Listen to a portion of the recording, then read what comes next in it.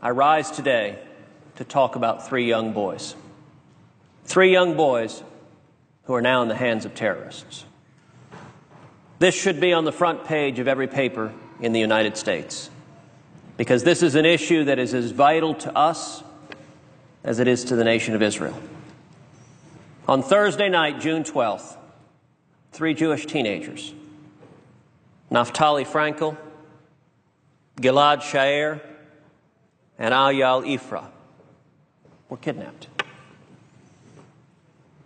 You can see all three of these boys in the photos beside me. Today, Thursday, June 26th, marks the 14th day of their abduction. Just imagine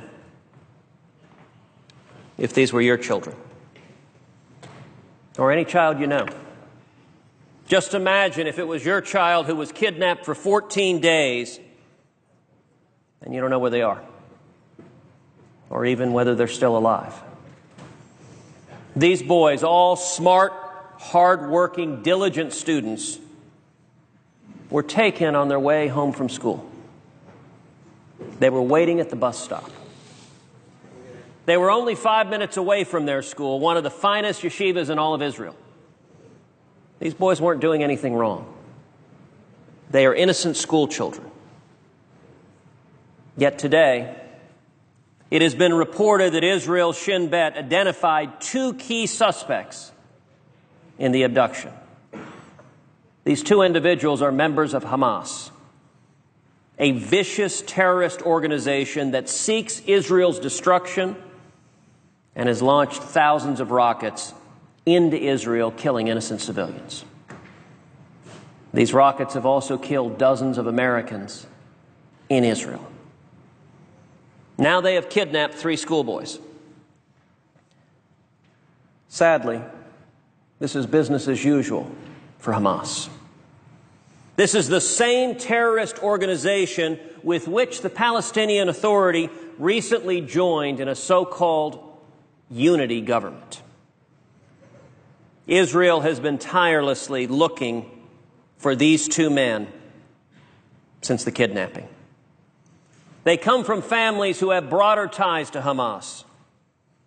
In a telling statement in the Times of Israel, the mother of one of the two alleged terrorists claimed she did not know of her son's actions, but she said she would be, quote, proud of him, and hoped he would continue to evade capture.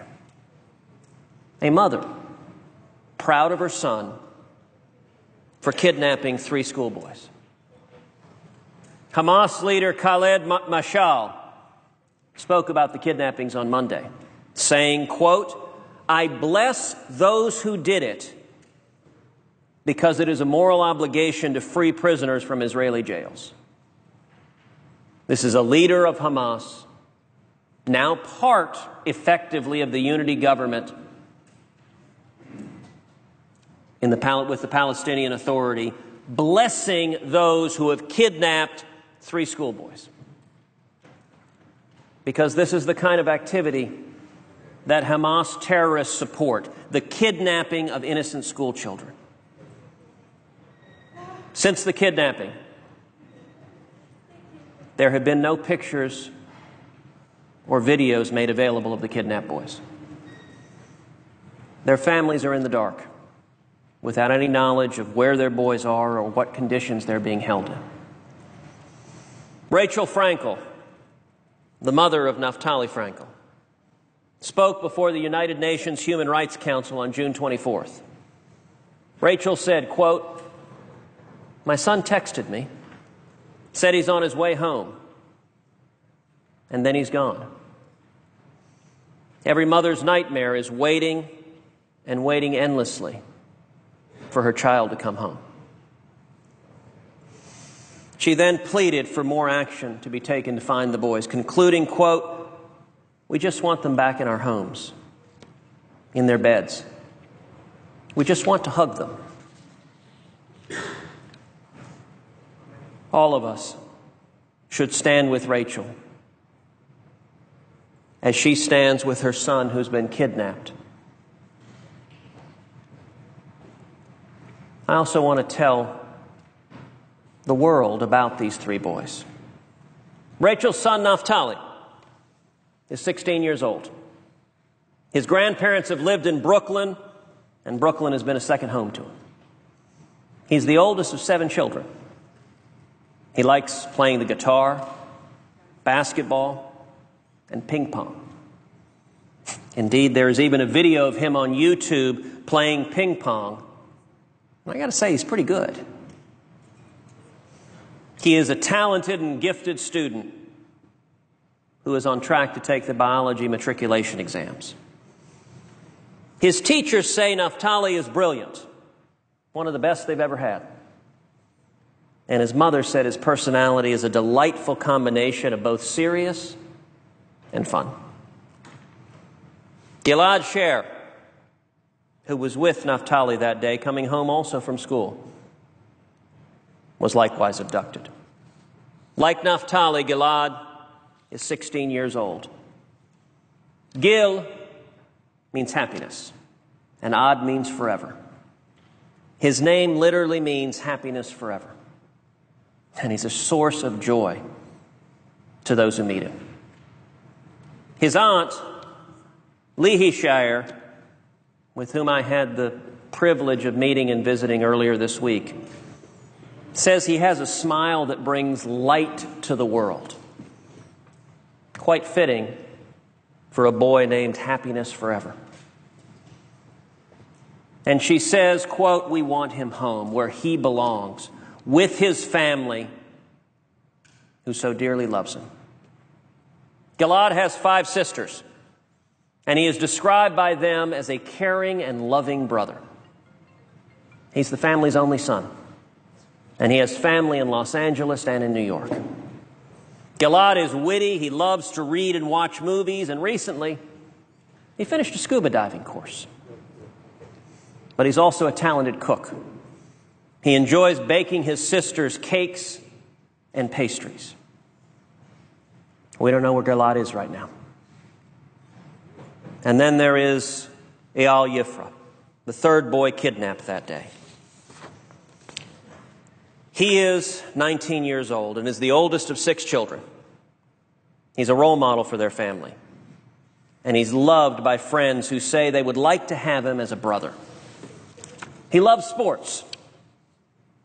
He should be cheering the World Cup games today, like so many other teenagers with his friends. A gregarious fellow, he likes to cook, to travel, to play guitar, to sing. Indeed, you can find videos of him on YouTube singing a song that he wrote himself. They all should be home singing again. There can be no more illusions that Hamas has any role in any future government formed by the Palestinian Authority. They must not receive any further recognition or legitimization. Hamas is a violent terrorist organization ready and eager to brutalize the most innocent. Hamas is a terrorist organization that kidnaps three innocent schoolboys. Hamas Give those boys back. Hamas, give those boys back now. The full weight of the world should bear down on Hamas to give them back safely and immediately. If they do not, we should use all of the available means to stand unequivocally with Israel for however long it takes to find these boys and to bring them home. These are teenagers who were targeted for who they are, who have done no wrong, who have done nothing that comes near to deserving what has happened to them that day while waiting at the bus stop to go home from school. It's easy for us to become desensitized to violence, desensitized to terrorism. It's easy for us to forget that these are three teenage boys whose families desperately want their boys back. I ask that all of us lift them up in prayer. I pray for their safe return. I pray that they will soon be home with the families who, who so dearly love them and miss them. And I pray that God will cover them with a shield of heavenly protection.